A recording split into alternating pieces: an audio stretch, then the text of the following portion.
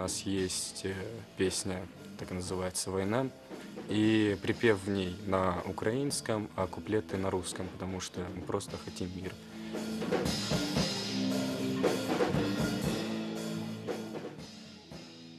И поэтому страх того, что это может повториться, но это естественно в такой ситуации будет.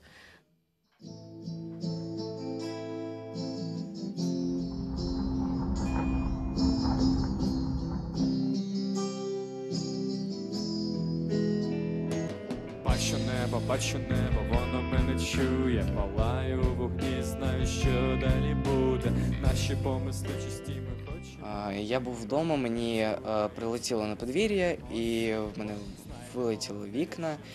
Я дуже злякався, і після 14 березня ми переїхали до Все вернется к миру, вся война лишь сон.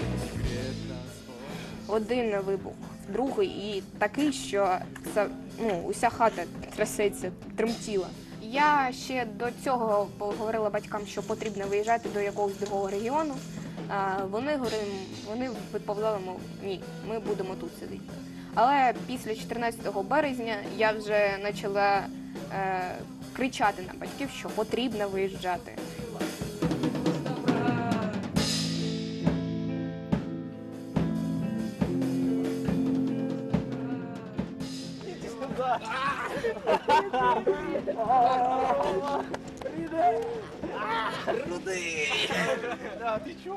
Спочатку це все було як сон, це якийсь сюрреалізм. Ну не може такого бути, щоб у 21 сторіччі ось так от погано було.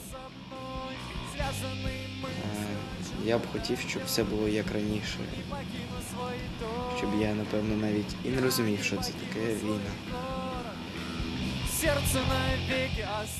В перші дні війни, повномасштабної війни, для мене моя же пісня Війна зазвучала зовсім по-іншому.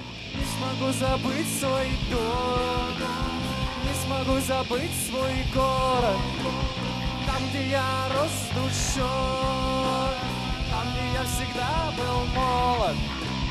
Не смогу забыть свой дом, не смогу забыть свой город. Я, напевно, не зміг би просто розмовляти мовою держави, яка почала збройну агресію а, в бік нашої держави.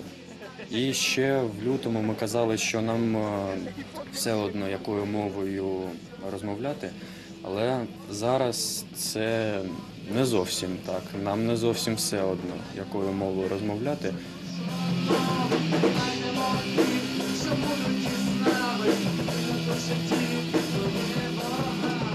Звісно, все можна відбудувати, але сам факт того, що місце, де у- з- з яким у тебе пов'язано дуже багато спогадів, е, його руйнують. Це навіть стосовно не тільки студії, всього міста. Це боляче.